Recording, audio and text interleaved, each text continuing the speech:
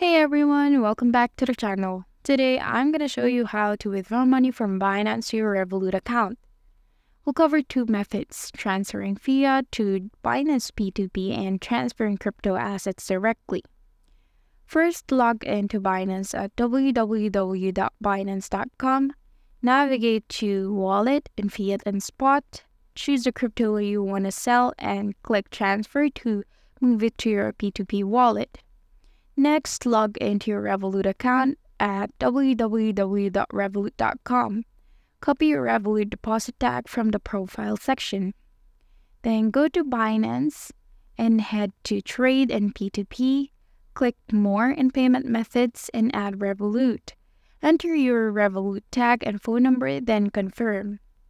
In the Binance P2P market, switch to the Sell tab Select the assets you want to sell, input the amount, and choose Revolut as your payment method.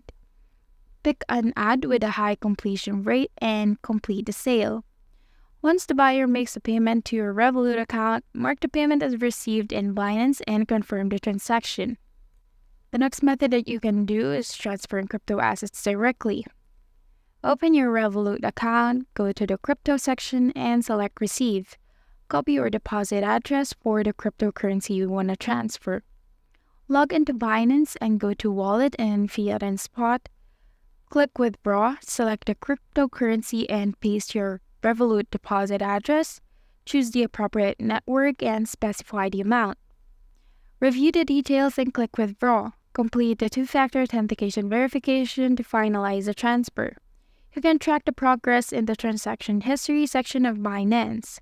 And that's it. Whether you're transferring fiat or crypto, moving funds from Binance and to Revolut is straightforward. Got any questions or tips on the best rates you've found? Drop them in the comments below and don't forget to like, subscribe, and hit that notification bell for more financial tips.